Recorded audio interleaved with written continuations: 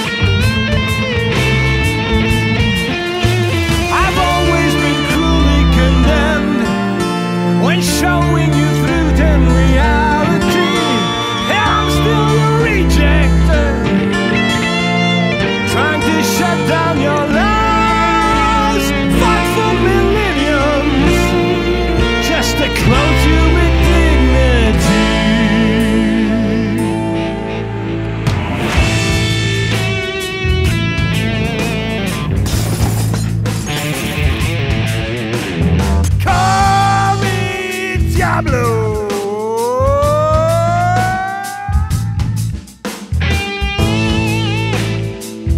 The great Diablo.